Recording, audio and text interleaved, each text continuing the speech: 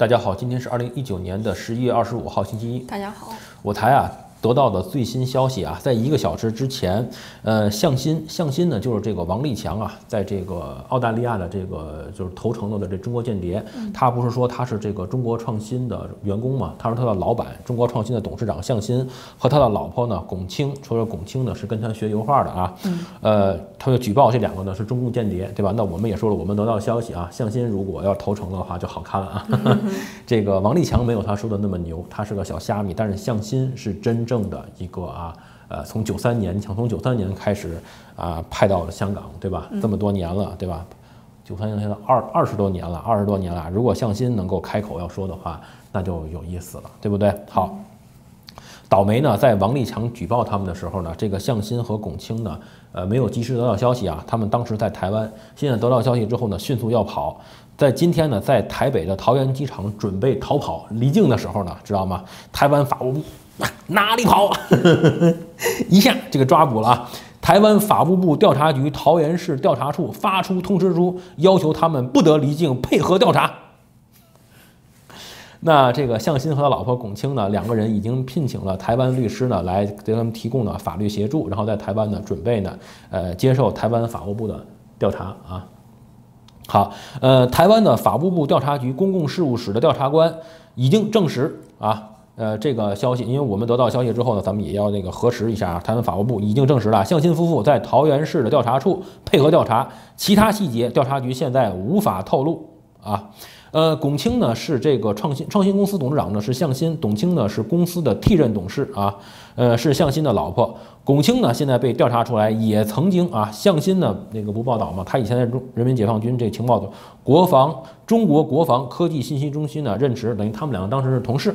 啊，也是在人民解放军的情报组织中国国防科技信息中心，等于他两个呢在那儿的同事，然后结婚了，结婚了之后呢，呃，还是这个得到军方的认可，然后两个人一起呢派到了香港来从事呢这个就有点像那个潜伏里边那一样，两个人一起就派到了这个香港啊，从九三年就派过去到现在啊这么多年了啊，现在五六年了，对，被台湾扣了啊。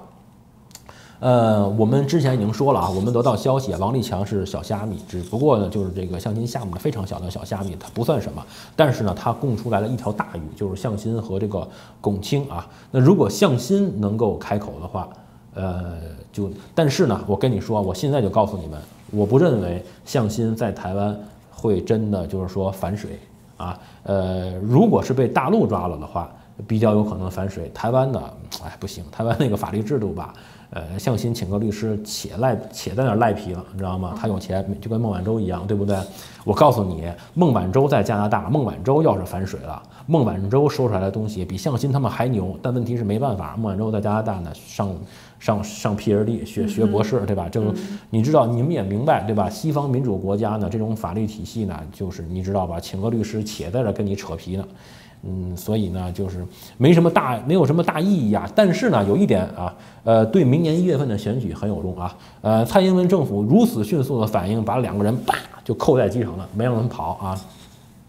就是说明什么呢？我觉得他们呢也没想着能够最后呢能够定罪，能够呢就是说，因为现在来讲呢证据实际上是不足的。从证据来讲呢，想要证明他们两个什么问题，我觉得现在比较难啊。呃，但是呢，就是说从现在开始吧，这个台湾那边因为现在执政当局嘛是这个民进党。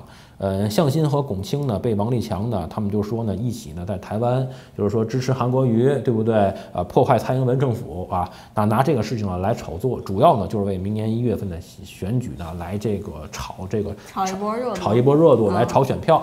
基本上呢，也就这么个，也就这么个情况了啊。我不，我不觉得台湾能够把向心的嘴撬开啊。向心这个嘴要撬开，得关到那个关塔迪亚摩去，你知道吗？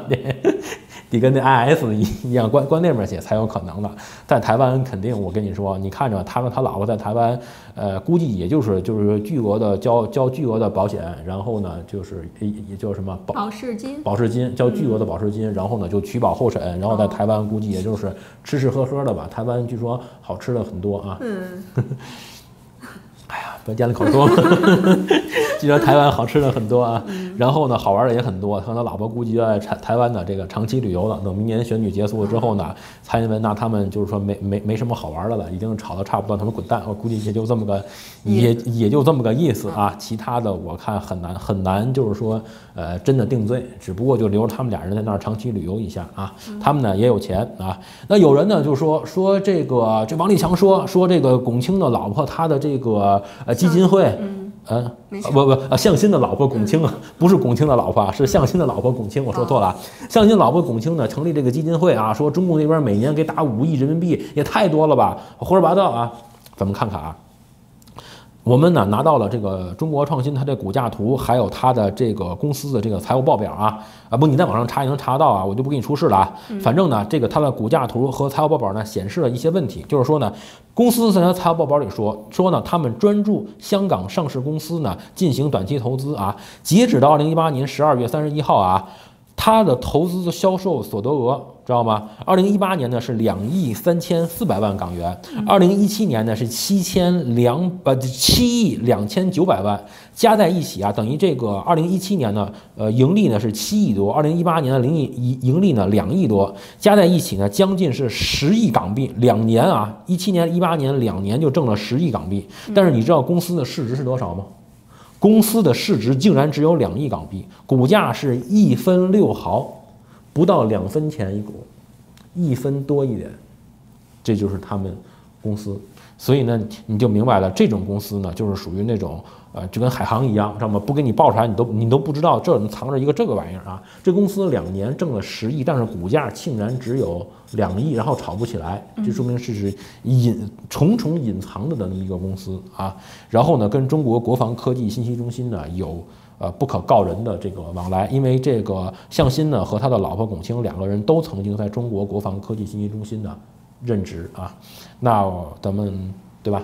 所以呢，呃，这样子的话，你想他两年挣了十亿，如果说每年能够从中国那边拿到五亿人民币的这个呃基金的话，我认为啊，我认为嗯不算夸张，嗯不算夸张，我觉得是可以理解的，我觉得这个数对。能够对得上啊，然后你不信的话呢，你可以自己上网去查，你查这个中国创新的股价图是不是这个价钱，然后你可你也可以查呢，呃，这个中国创新的呢，这个它的这个财务报表啊，这个在网上现在都能查得到了，现在已经肯定都被曝光，因为它它上市公司嘛，对不对？这都都能查得到，你不信的你自己去查，两年挣了十亿港币，所以呢，它的基金如果每一年都要五亿的话，实际上是差不多的，是完完全全说得过去的啊。那么好吧。呃，当然了呢，那我们在这里呢，恭喜那个向新和老婆龚清啊，在香港呢可以呢公派公啊，在台湾啊公派长期旅游啊，估计要旅游几个月了，肯定要在那儿扣一扣。我估计明年一月份选举之前，他们肯定走不了啊。呃，蔡英文肯定得拿他俩好好出来，嗯，就是不说游不说游街吧，台湾不允许，对不对？但是呢，肯定就是在媒在在媒体上。对不对？得好好给你游游媒体，对不对？还没有把他炒红呢，他他自己先让蔡英文给炒红。蔡英文比我们还着急，我们毕竟不不要选举嘛。蔡英文要蔡英文马上一月份要选举了，这你想这还有多少？还不到一个半月了，这选举，对不对？蔡英文现在已经快呃快要快快急死了，对不对？不过说实话啊，哎，就是台湾现在这个选举。咱们说，基本上已经进入了，就是说垃圾时间。你知道什么叫垃圾时间吗？就是 NBA 他们打球，NBA 比赛嘛，知道吗？当这个比分一旦悬殊了，有二三十分之后呢，那剩下的那个选举时间呢，叫垃圾时间。垃圾时间呢，通常呢，这个赢了的球队的这个主主主主教练呢，会把这个主力球员们都首发球员、主力球员都换下来，换一帮呢替补球员。板凳球员。对，一个呢是保护一下呢主力球员，怕他们受伤。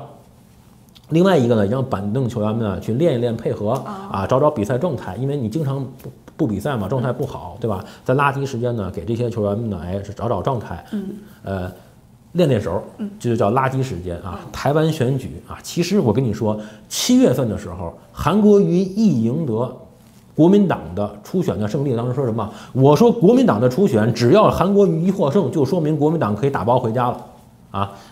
从七月份就已经进入垃圾时间了，不过呢，就，对吧？反正现在就就就这个意思，对不对？我现在觉得呢，除非呢，习近平现在就是真的要攻打台湾，不然的话，韩国瑜估计是赢不了了，你知道吗？